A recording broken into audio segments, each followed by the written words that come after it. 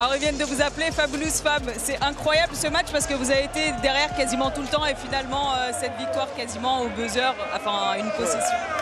C'est le basket. Euh, on y a cru tout le match. Je pense qu'on a été vaillant jusqu'au bout. Euh, vraiment, c'est l'espoir de, pouvoir remonter, de mettre des shoots importants en fin de match. Euh, je pense qu'on a eu des coups de sifflet qui nous ont fait hyper mal euh, en deuxième mi-temps. Je ne dois pas mettre ça sur, sur le dos des arbitres. Je pense qu'il y a eu des deux côtés. Mais c'est vrai qu'à des moments où on défendait bien, on prenait des rebonds pour partir en contre-attaque et tout ça, on- ça nous coupait un peu le rythme. Et on n'arrivait pas vraiment à, à passer devant. Et, et je pense qu'on fait euh, trois dernières possessions euh, extrêmement bonnes. Et regarde Lioul, deux points ce soir, le panier de la victoire. Que demande le peuple? Je vous ai vu très ému, on a vu des larmes aussi. Vous êtes évidemment très content. Ça représente quoi ce, ce titre? Ça a été une année très compliquée. euh, J'ai perdu un membre très important de ma famille. Euh,